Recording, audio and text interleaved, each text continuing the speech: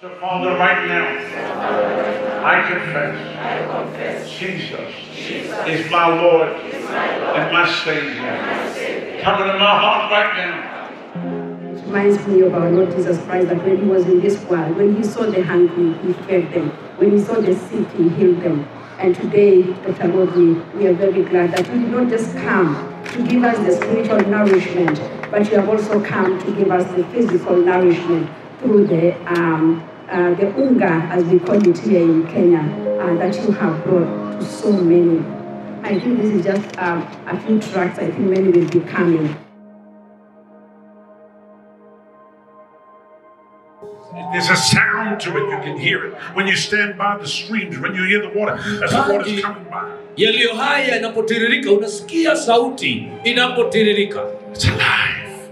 iko na uhai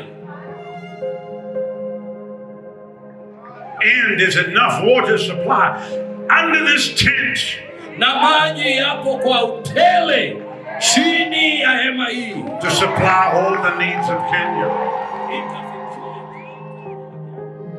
I tell you, I feel this so strong in my spirit. nahisi today. kwa nguvu rohoni mwangu leo God will take you right back to the first one.